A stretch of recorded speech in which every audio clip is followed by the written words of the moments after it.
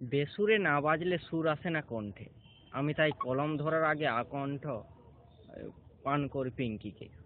আবার লিখছেন, নেশা কাটলে যখন ফিরে আসে তখন ব্যাগ ভর্তি কবিতা। এই পান করা আর নেশা কেটে যাওয়ার পরবর্তী মুহূর্তের অনুভূতির কথা জানতে চাই। ওই পানটাকে ধরে নাও তুমি।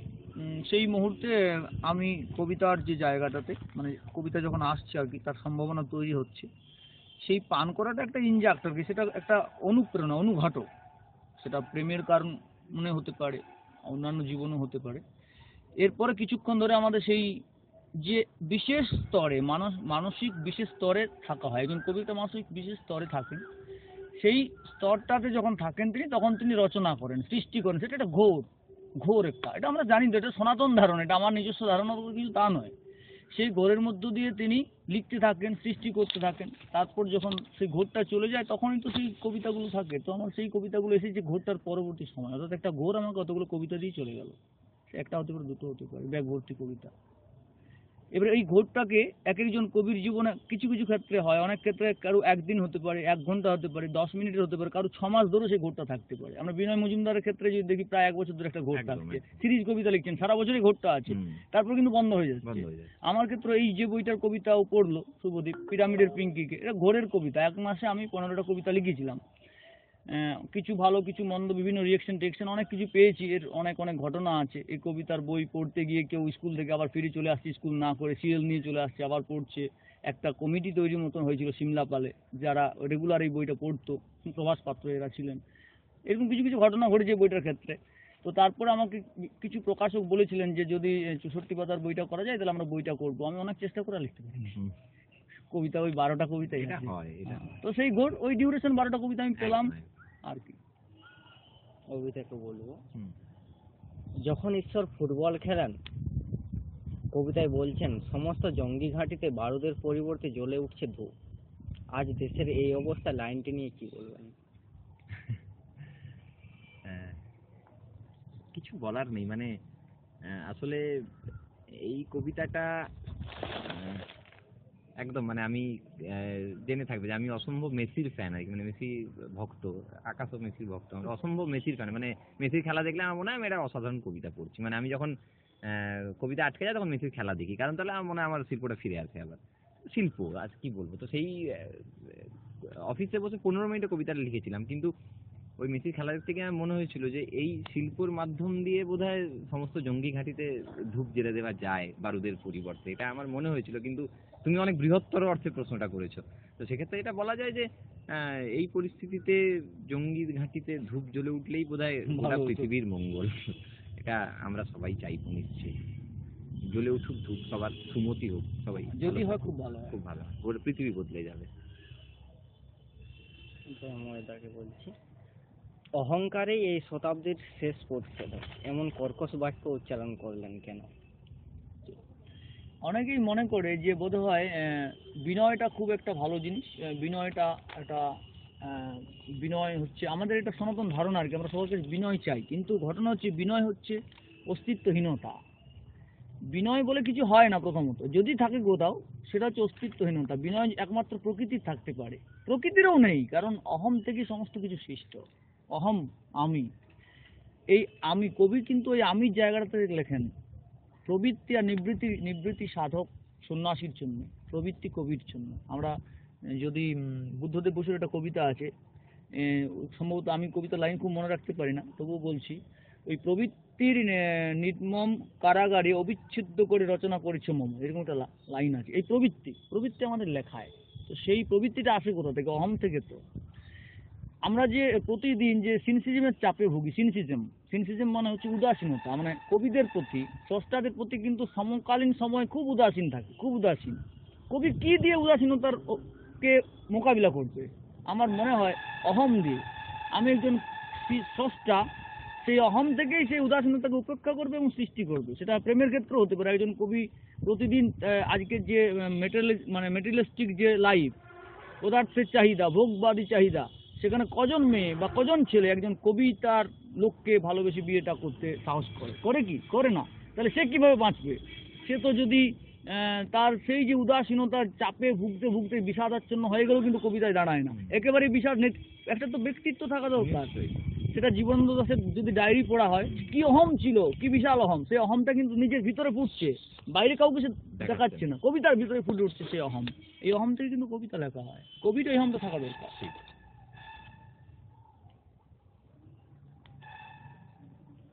অভিনন্দন দা আপনার উদ্ধত হও মফস্বল উদ্ধত হও। কবিতাটি তো মুখে মুখে ফিরছে অনুভূতির কথা জানতে চাই। হ্যাঁ এই কবিতাটা হয়তো একটু মানে লোকজন নিয়ে ফেলেছে বেশি গ্রহণ করে ফেলেছে। আসলে উদ্ধত্তের কথা আছে বলে ওই যেটা বলছে অহমের কথা। স্বাভাবিক ব্যাপার। এটা আমি তুলেছি ভালো লাইন হ্যাঁ মানে ব্যক্তিগতভাবে বলছি এটা আমি অসম্ভব রাগ থেকে লিখেছিলাম। কারণ আমি হয়তো একটু মানে শান্ত প্রকৃতির দেখতে কিন্তু আমার ভেতরে অসম্ভব রাগ থাকে। কিন্তু সবসময় ওই মারামারি করে হয়ে ওঠে না বলেই মাঝে মাঝে কবিতা লেগে কবিতা লিখে ফেলি আর কি তো যাই হোক এই কবিতাটা লিখেছিলাম পরিষ্কারভাবে। আমি কলকাতা বইমেলা ফেরত একদম লিখেছিলাম কবিতাটা কারণ সেখানে গিয়ে এমন কিছু দৃশ্য দেখেছিলাম এবং আমার মানে নিজস্ব মানুষজনকে নিয়ে এত বেশি উন্মাদনা সেই কলকাতা কেন্দ্রিক একটা উন্মাদনা সেটা আমাকে অসম্ভব হার্ট করেছিল। এবং ব্যক্তিগতভাবে আমি পরবর্তীকালে লক্ষ্য করেছিলাম বিভিন্ন, যারা তথাকথিত মফস্বল বলা হয় যে জায়গাগুলোকে, আমার মেদিনীপুর, আমার পুরুলিয়া, আমার বীরভূম, আমার বাঁকুড়া, আমার যে সমস্ত তথাকথিত মফস্বল, কারণ কলকাতার লোকজন এখন হুগলিকেও মানুষ মানে মফস্বল বলতে রাজি না, সেটা কলকাতার আন্ডারেই চলে আসে আর কি। তো, সেইটা করতে গিয়ে আমার মনে হয়েছিল যে বোধহয় মফস্বলের মানুষজনের একটু উদ্ধত্ত প্রকাশ দরকার আছে। উদ্ধত্ত প্রকাশ কোথায়? কারণ এই কবিতাটার শেষ লাইনে গিয়ে দেখবে বলেছি যে একদিন সব আলো টেনে নিয়ে ঘেঁটি ধরে শেখাবো কবিতা। আসলে বলতে চাইছি এটাই যে যুগে যুগে কিন্তু জেলাই জেলা শহরই কিন্তু কলকাতা সহ বাংলা সাহিত্যকে কবি সাপ্লাই করেছে। এটা কিন্তু একদম জনমানুষ সবাই সকলেই তো ট্রান্সফার ওখানে গেছে। কিন্তু তারা জেলা থেকেই তাদের উত্থান ঘোষ বলো নির্মল চক্রবর্তী জয় গোস্বামী থেকে শুরু করে সবাই। রানাঘাটে। একদম সুবোধ সরকার কোথাকার? একটা কলকাতার কবি কতজন? নেই আমি সেটা বলছি। তাহলে সেক্ষেত্রে আমি এটাই বলতে চেয়েছিলাম ওই কবিতায় যে একদম পরিষ্কার কথা যে বোধহয় একটু ঔদ্ধত্য থাকা দরকার। শুধুমাত্র ওই কলকাতা কেন্দ্রিক আবরণে নিজেকে মুড়ে নেওয়ার থেকে নিজস্ব শহর, নিজস্ব জেলা, নিজের ভালোবাসার বাড়ি, নিজের পাড়া, এটাকে ভালোবেসে কবিতার উপাদান করে তুলতে পারলে বোধহয় নিজের জায়গাকে আরও বেশি ভালো চেনা যাবে। এটা আমার ব্যক্তিগত অভিমত। ওই জন্য আমি লিখেছিলাম যে মফস্বলের বোধ আরেকটু উদ্ধত্ত প্রয়োজন আছে। হ্যাঁ তাহলে উদ্ধত্ত মানে এই নয় যে অপরকে অসম্মান করা। আমি সেই কথা বলতে চাইনি। কিন্তু আমি বলতে চেয়েছিলাম যে কবিতার ক্ষেত্রে উদ্ধত হোক। কবিতার ক্ষেত্রে শুধুমাত্র ওই বিখ্যাত লোকের সঙ্গে ছবি তুললাম আর বিখ্যাত লোকটি অন্যদিকে তাকিয়ে আছে আর আমি তার সঙ্গে হাসি মুখে ছবি তুলে ফেললাম সেটি ফেসবুকে পোস্ট করে লাইক কুড়িয়ে কমেন্ট কুড়িয়ে ওটা তো নিজেকে অসম্মান করা। অসম্মান করা হয়। ওটা অ্যাকচুয়ালি অসম্মান করা হচ্ছে নিজেকে। তো সেই অসম্মানের জায়গাটা নিজেকে না ফেলে দিয়ে। নিজের গার্ডস রাখো নিজের সাহস রাখো নিজের কলমের প্রতি ভরসা রাখো। আমি এটুকুই ও, বলতে দারুণ লাইন খুব ভালো লিখেছে। ওটা। দয়াময় দা দূর থেকে এগিয়ে আসছে দৌড় প্রতিযোগিতাটি। কে আগে আমাকে ছুতে পারবে ছুবে? তুমি না কবিতা? এখানে তুমি আর কবিতা কি একে অপরের পরিপূরক নয়? নৈরামণি বালিক কাব্যগ্রন্থের একটা কবিতা। এখানে হচ্ছে কবিতা কবিতা হচ্ছে সেটা শূন্য স্থানে কবিতা আসে যখন আমাদের জীবনে অন্যান্য জিনিস চলে আসে সেটা নারী হতে পারে। মানে প্রেম হিসেবে তার দেহটা যদি আমার সামনে থাকে, পদার্থ বস্তু টস্তু থাকে অন্য কোনো লক্ষ্য যদি আমার জীবনে ভরাট করে, তখন কবিতা কিন্তু দূরে সরে যেতে চায়। আমার খুব ভয় থাকে যখন কবিরা বিয়ে টিয়ে করে, চাকরি টাকরি পায় আজকের কবিতাটা অভি- অভিনন্দন ক্ষেত্রে সেটা ঘটেনি রাজস্বের ক্ষেত্রেও ঘটেনি, ওটা বলে দিচ্ছি। খুব ভয় থাকে যে একজন কবি যখন বিয়ে টিয়ে করে করে নেয় আর কি তার ভিতরে আগুনটা কি পাচ্ছে নিভে যায়? অর্থাৎ এই দুটো আলাদা সত্তা আর কি, একটা এলে আরেকটা চলে যায়। তা আমি এখানে নিষ্ক্রিয় আমাকে ছুতে আসছে কবিতা অথবা সেই লক্ষ্যটা? অন্যভাবে দেখার চেষ্টাটা। আমি ছুটছি না তারা ছুটছে। এখন সে যদি আসে আমার কবিতা পিছিয়ে যাবে কবিতা এলে সে পিছিয়ে যাবে। এই দ্বন্দ্বের মধ্যে আছি বলে এই লাইনটা এসেছে আর কি। মানে এ দ্বন্দ্বের কিন্তু কোনো সত্যি মানে এখনও কোনো সমাধান পাওয়া খুব মুশকিল সত্যি নেই? সত্যি নেই? সত্যি মানে এটা কনফিউজিং ব্যাপার যে হ্যাঁ। সত্যি মানে তুমি এগিয়ে যাচ্ছ না সে এগিয়ে আমি নিষ্ক্রিয় আছি এবার সে। সত্যি ছুটে আসছে। হ্যাঁ। আমরা কারোর দিকে যাই না সে আমার দিকে আসে সেটা তো আরও মহাজাগতিক বিষয় বিষয়। বিষয়। কাছে শেষ প্রশ্ন। এই জীবন ক্রিকেট লিখিত ব্যাখ্যা চাইবে। আহ, ব্যাখ্যা তো আমি একটু আগে বললাম যে সারা জীবনে ওই দয়ময়দার মতোই দয়াময় অনেক বড় জায়গায় গেছিল। না, আমি সেটা হয়তো অত বড় জায়গায় যেতে পারিনি কিন্তু ওই তবুও অজস্র ক্রিকেট খেলে বেরিয়েছি তো। ওই গ্রামে গঞ্জে মাঠে দয়মাদা সে অভিজ্ঞতা থাকবে নিশ্চয়ই যে সেই মাঠে খেলতে গেছি। তোমাদের একটা সেই নাইট ক্রিকেট হয়। হ্যাঁ হ্যাঁ খুব বড় মাঠ। হ্যাঁ বড় মাঠে কলেজ মাঠে কলেজ মাঠে দারুণ খেলা। খুব ভালো খেলা হয়। তো সেরকম ক্রিকেট টিকেট খেলে যতটুকু বুঝেছি যে আসলে ক্রিকেটকে শুধু ক্রিকেট ভাবে যদি না দেখি ক্রিকেটের ব্যাখ্যা হিসাবে যদি না দেখি ক্রিকেট যদি সত্যি একটা মহার্ঘ জীবনের একটা রহস্য হিসাবে দেখি যে এই খেলার মধ্যে থেকে সত্যি আমরা কিছু জীবনের উদাহরণ পেতে পারি কিনা, সত্যি সত্যি পেতে পারি কিনা। মানে একজন ব্যর্থ মানুষ, যার উপর প্রচুর প্রত্যাশা নিয়ে আসে মানুষ, সে মানুষ যখন নেমে হয়তো প্রথম বলে আউট হয়ে গেছে বা দ্বিতীয় বলে আউট হয়ে গেছে, সে যখন তার সেই শুকনো মুখটা নিয়ে ফিরে যায়, এই ব্যর্থতা তো জীবনে আমরা বহুবার বহু জায়গায় ফেস করেছি।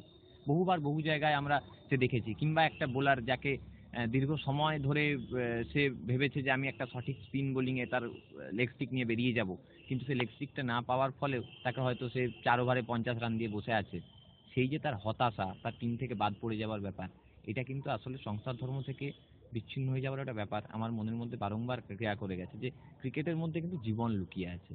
আসলে এই ক্রিকেটকে আমি জীবন দিয়েই দেখতে চেয়েছি। এই খেলাটা যেহেতু খেলেছি অজস্র বহু ঘটনার সম্মুখীন হয়েছি। আমি আমার জীবনের প্রথম টুর্নামেন্ট খেলি ক্লাস ফোরে যখন বাচ্চারা ব্যাট ধরতে না তখন আমি ক্রিকেট টুর্নামেন্ট প্রচুর প্রত্যাশা নিয়ে নেমেছিল আমাকে। একটা শর্ট উইকেট টুর্নামেন্টে ছিল কিন্তু আমার পাড়ার লোকেদের ঝেঁপে এসেছিল সে খেলা দেখতে। কারণ একটু দূরে ছিল ঘর থেকে। কারণ এ ছেলে বিরাট কিছু করে ফেলবে। অসম্ভব ভালো কভার ড্রাইভ মারে। এ ছেলে তো অসাধারণ কিছু করে ফেলবে। ভালো মারতে? হ্যাঁ। তো সেখানে ভীষণ একটা বিরাট প্রত্যাশা ছিল মানুষের মনে। কিন্তু সে প্রত্যাশাকে কিন্তু আমি হতাশ করেছিলাম। কারণ এত বেশি ওভার চাপ হয়ে গেছিল আমার উপরে। এত বেশি প্রত্যাশা হয়ে গেছিল। এত লোক আমার দিকে হাঁ করে তাকিয়েছিল। ফার্স্ট ডাউন উইকেট পড়ার পরে যখন নেমেছিলাম আমি দুটো বল ব্যাটে লাগাতে পেরেছিলাম তৃতীয় নম্বর বলটাকে মেরেছিলাম সেটা সোজা মাঠের বাইরে চলে গেছিল। কারণ সেখানে ছয় মারলে আউট হয়ে যাওয়ার ব্যাপার ছিল। তো আমি আউট হয়ে গেছিলাম। শর্ট ক্রিকেট খেলা হচ্ছিল? শর্ট ক্রিকেট খেলা ছিল সেটা আর কি। তো সেই মুহূর্তে মানে আমি আমার আর ব্যাট প্রায় সমান আর কি। এরকম একটা পরিস্থিতিতে নেমে ওই প্রত্যাশার চাপ নিয়ে নেমেছিলাম পরবর্তীকালে। এই ছেলে বিরাট কিছু করবে। এরকম একটা প্রত্যাশা পূরণ করতে পারিনি। সেই যে হতাশা সেই হতাশা কিন্তু মারাত্মক হতাশা। পরবর্তীকালে জীবনে কিন্তু না খেলেও এই হতাশা আমি পেয়েছি বহুবার। সেখানে কিন্তু আমি দুটোকে অ্যাটাচ করতে পেরেছি মেলাতে পেরেছি। সত্যি ওই হতাশা তো আমার জীবনে হতাশা খেলা সত্যি শুভদীপ এটা খুব সত্য কথা। আজকে ছেলেমেয়েরা খেলে না দেখে আমার দুঃখ হয়। হ্যাঁ মানে আমি বারংবার বলি একটা কথা না খেললে স্পোর্টসম্যান না হলে সাফল্য এবং সাফল্য। নেওয়া যাবে না। আমি ব্যর্থতাতেও ভেঙে পড়ব না সাফল্য অধিক উচ্ছ্বসিত হয়ে পড়ব না। এই জায়গাটাকে যতক্ষণ না নিয়ন্ত্রণ করতে পারছে ততক্ষণ কিন্তু খুব মুশকিল আমাদের ব্যক্তি জীবনে যে ঝড় বয়েছে আর কি আমাদের ব্যক্তি জীবনগুলো যদি ওপেন এন্ডেড হয় কখনো তাহলে বোঝা যাবে যে এই যে ঝড়গুলো আমরা সামলেছি একদম। সেটা কিন্তু ক্রিকেট খেলেছিলাম বলে। নিশ্চয়ই নিশ্চয়ই। মানে আমি তো ব্যর্থতাতেও ভেঙে পড়ি না। কারণ আমি তো জানি আমি খুব ভাইটাল টাইমে উইকেট কিপিং করতে গিয়ে ক্যাচ ফেলে দিয়ে টিমকে হারিয়ে দিয়েছি। আবার কোনো মুহূর্তে অসম্ভব ভালো বল ধরে নিয়ে গোটা মাঠের লোক খেলা দেখেনি খালি আমার কিপিং দেখছে। সেরকম একটা পরিস্থিতিও তৈরি হয়েছে খড়গপুর একটা টুর্নামেন্টে গোটা মাঠ খালি হই হই করছে। কেন? আমি keeping করছি। অসাধারণ কিপিং করছি। মানে সে সে একটা অবিশ্বাস্য বল ধরেছিলাম। আমি আমার বাবার জন্মে এরকম বল মারে। সরি বাবার জন্মের কথাটা উড়িয়ে দেবে আর কি। মানে আমার জীবনে কোনোদিনও এই বল ধরতে পারব ভাবিনি। বল বোলার বলটা করেছে আর কি। বলটা মোটামুটি মানে মিডিলেরও লেগেরও বাইরে পড়েছে। বলটা পড়ে বেরিয়ে যাচ্ছে আউটসাইড দিয়ে, একদম। অবধারিত চার থার্ড ম্যান অনেক মানে ফাইন লেগ অনেক ডিপ হয়, ওপাশের দিকে ডিপ হয়ে আছে। তো বেসিক্যালি চার হয়ে যাবে ওটা। এবারে সেই বলটা আমি প্রায় গোলকিপারের মতো মানে একদম উড়ন্ত অবস্থায় গিয়ে বলটা ধরে ফেলেছিলাম। এবং সেটা ওয়াইড হয়েছিল বাট কিন্তু চার হতে দিনি এবং সেটি দেখার পর গোটা মাঠ একদম উচ্ছ্বসিত হয়ে উঠেছিল। অসম্ভব মানে সে প্রশংসায় ভরিয়ে দিয়ে দিয়ে লোকজন কিপিং আমারই খালি হাঁ করে দেখছে, প্রতিটি বল ধরলেই চেঁচামেচি। সেই যে, সেই সাফল্য কিন্তু আমি উচ্ছ্বসিত হয়ে যাইনি। কারণ তো আমার ইচ্ছে ছিল পরের ম্যাচে আরও ভালো ঠিক করতে হবে আমাকে। বা পরের ম্যাচে কোনো ম্যাচে যখন নেমেছি সেই ম্যাচে মানে আমার একটা খুব ফ্রেন্ডলি ম্যাচের কথা মনে পড়ে। তখন ইলেভেনে পড়ি। একটা ফ্রেন্ডলি ম্যাচ চলছে আমাদের মাঠে আর কি ও টিমের মধ্যে আর কি। আর সেই সিজনটা আমার ব্যাটে বলে খুব ভালো হচ্ছিল। ওপেন নেমেছি এবারে সেঞ্চুরি করে দিয়েছি। এরকম হাই লেভেলে মানে বারোটা না কটা ছক্কা টক্কা মেরে পুরো সেঞ্চুরি টেঞ্চুরি করে দিয়ে এবারে তারপরেই একটা টুর্নামেন্টে খেলতে গেছি। প্রচণ্ড আপ লেভেলে আমার কনফিডেন্স হয়ে আছে। প্রথম বলটায় শর্ট বল আমি দেখেছি একদম এটা মাঠের বাইরেই যাবে এছাড়া কোনো কিছু মানে এটার আর কোনো ডোজ হতে পারে না মাঠের বাইরেই পড়তে পারে এই বলটা বলটা মারতে গেলাম মিস হিট করলাম একদম ক্যাচ হয়ে গেল। প্রথম বলেই আউট। মানে সবাই হতাশ বলে আরে এই- আগের ম্যাচে সেঞ্চুরি করে এই ম্যাচে আউট হয়ে গেল। এই যে সাফল্য এবং ব্যর্থতা দুটোকেই কিন্তু একসঙ্গে দেখেছি আমি চোখের সামনে এবং ভেঙে পড়ি এই যে ভেঙে না পড়া ওই জন্যই ক্রিকেট থেকে শিখেছি বলেই কিন্তু আমার নাম আমার cricket। খুব খুব বেনিফিটেড একদম মানে এটা জয়ময়দা বলতে পারবেন তুমি ব্যর্থতাকেও মেনে নিতে পেরেছ। প্রচুর মেনেছো মানে তুমি কিন্তু এখন তোমার জীবনে আচমকা কোনো ব্যর্থ হলে তুমি একদম ভেঙে পড়বে না, কারণ তুমি হ্যাঁ ওই মানে তুমি তিন দিন বাদে সেটাকে কাটিয়ে উঠে আরও স্ট্রং হয়ে উঠেছে জানি পরের ম্যাচটা আসছে। পরের ম্যাচটা আসছে। পরের ম্যাচে আমি সুযোগ পাবো আমি একটা খেলার চান্স আমার হাতে আছে আমি কিন্তু সেই ম্যাচটা খেলতে পারি। সেখানে আমাকে ভালো কিছু করে দেখাতে হবে। এইটাই জন্যই আমার এই জীবন ক্রিকেট লিখিত প্রত্যেকের। প্রত্যেকের উচিত একটা স্পোর্টসের সঙ্গে যুক্ত থাকা নিশ্চয়ই। ব্যক্তিত্ব তৈরি করা যেটা অভিনন্দন পেয়েছে। এবং ওর মধ্যে আমি দেখেছি যে একটা ব্যাপার যে ও যে গান করে ওর একটা ছবি দিয়েছিল অ্যাগ্রেসিভ ছবি তার নিচে কি একটা ব্যাড কমেন্ট করেছিল ওর বোধ নেই। ও যে অ্যাগ্রেসিভ গানের ভিতর দিয়ে ওর যে ভিতরের ক্ষুদাটাকে প্রকাশ করছে সেটাও বুঝতে পারছে না রিলেট করতে পারছে। গান মানেও বোঝে সব মোহাম্মদ রফি। একদম। হা করে নরম গলায় গাইবে। আমার ভিতরে যে ক্ষুদা আমার ভিতরে যে এনার্জি লেভেল সেটা আমার গানের মধ্যে প্রকাশ করব। ওর যে এনার্জি লেভেল আছে কবিতা যখন ও লেখে ও কবিতাগুলো দেখবে খুব খুব আহ, এক একটা কবিতা যেন কুন্দে কুন্দে তৈরি করা। মানে ওর যে শক্তিটা সেখানে ওই কবিতাতে বোঝা যাচ্ছে। একটা মানুষ যার কান ঝুলে যায় তার কবিতাও ঝুলে ঝুলে যাবে। সেটা কবিতার শরীর দেখলেই বোঝা যায়। একদম। ওর কবিতার ক্ষেত্রে সেটা ঘটেনি। ওর কবিতার কান শক্ত আছে কারণ ওর নিজের কানটাও শক্ত আছে। হ্যাঁ। লিখবে তোমাকে ধন্যবাদ দিলাম ওইটা অ্যাড করবে। হ্যাঁ অবশ্যই।